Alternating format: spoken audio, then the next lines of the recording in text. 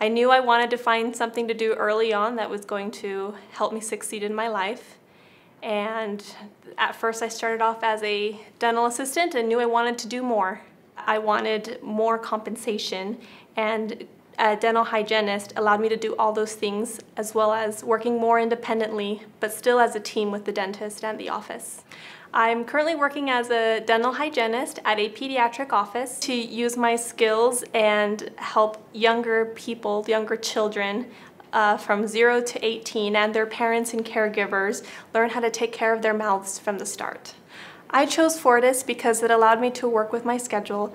Uh, it was nearby to my home, easy commute, and I had learned that the teachers were great and would prepare me for my future people told me that I couldn't do it, and I, I went ahead and I just did it because I knew that I could. And no one was going to stop me.